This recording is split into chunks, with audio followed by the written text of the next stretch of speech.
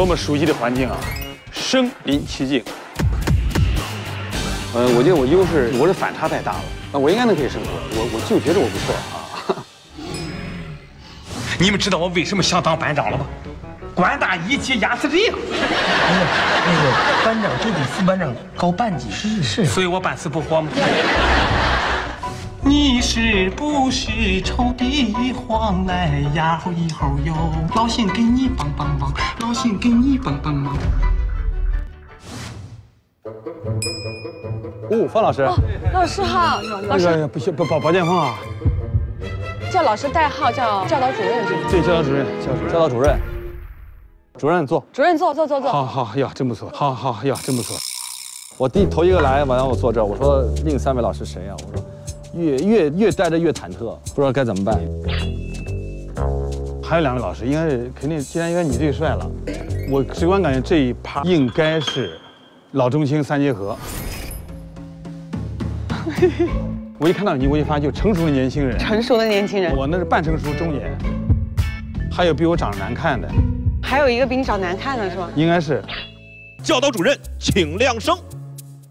叫把春风吹拂门，倒引千户，朱家山地天秀色，任由万家。放个屁！放个屁！汪汪！春回大地！我听懂了，教导主任是从宫里出来的。经典之声，佐罗。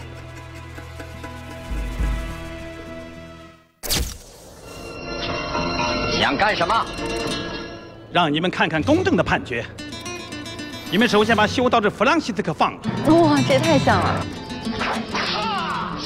现在去抓真正的罪犯，受贿的法官，作假的证人，这个狠毒的执法官。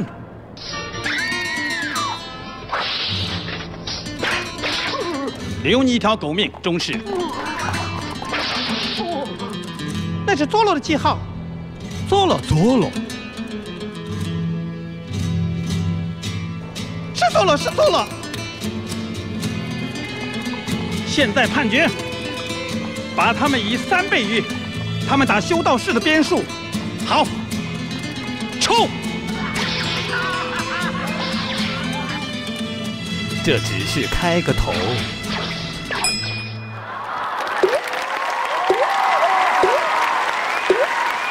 真好，真好。下一段，有话好好说。安红，我想你。安红，我想你。大哥，还喊啥呀？还还还喊这句？已经喊了五遍了。是吗？那你就加一句，叫叫安红，我想你想的是睡睡不着觉。中。安红，我想你想的想睡觉，不是想睡觉，是睡不着觉。不是想睡觉，是睡不着觉。睡不着觉。你给我小小小声练一遍，我听听。安红，我想你想的睡不着觉。对，睡不着觉。五遍。安红。我想你想的想睡觉，你就你就你就随便想着喊，我哪知道喊啥呀？你怎么就那么笨？不是我笨，是你这个词儿吧，他没弄明白。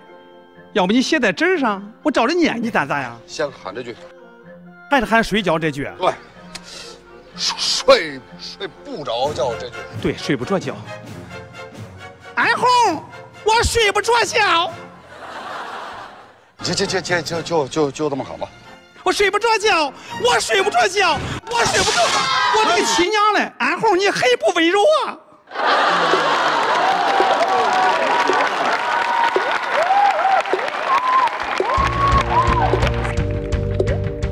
通过他这两段，你会发现他特别喜欢声音，他的那个河南话真的是惟妙惟肖，又有能量，又很真实。啊，黑不温柔啊！天哪，太有喜感了。哎呀，教导主任热身的感觉如何呀？我觉得我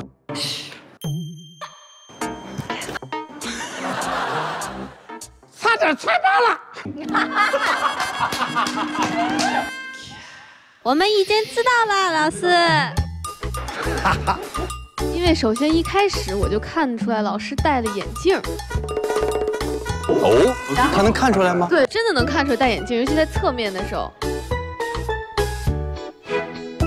最后配那个配音的时候有一句露馅了，他说：“我的亲娘哎，我的个亲娘嘞，安红你很不温柔啊。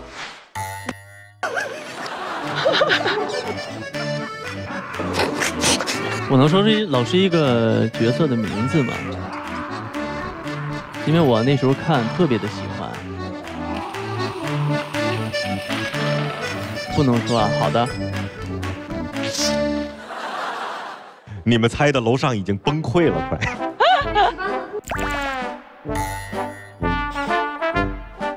你是不是卖题了？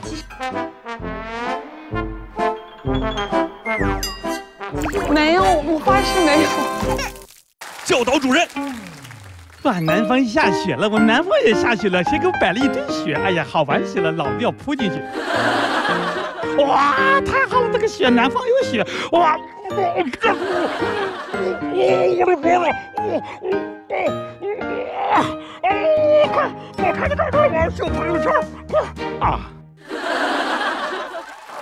呵。啊，这个好棒，怎么配出来的？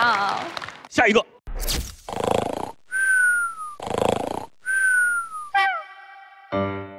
我是谁？我从哪儿来？我在干嘛？这是个哲学命题，不说了，还是好好的困觉。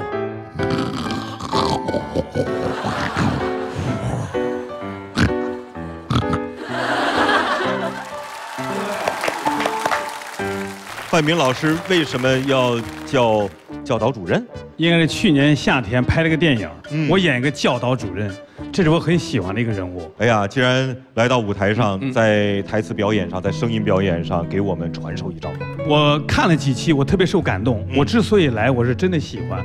那么到我这儿呢，我说一个小小故事吧。嗯，好，我们向上海译制厂致敬，因为我小时候我对译制这种东西特别喜欢。八十年代初，我到上海译制厂，我找到了乔真副厂长。我是那时候还是工人，我去考译制厂去，非常不知天高地厚。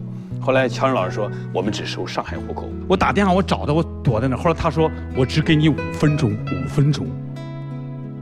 当时我是专门就研究他们俩声音，其实我声音跟他们距离太大了，就是我比较有比较有天赋啊，我会模仿，主要是啊。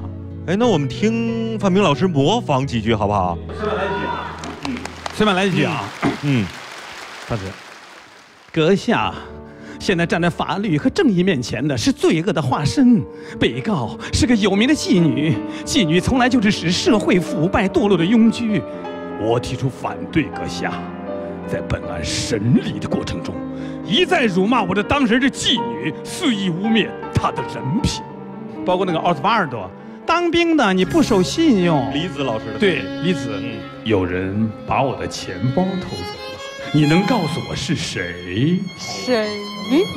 很好，很好，很好。他有谁偷的吗？你冒犯了一个女人，她拿了你什么？只是为了报复。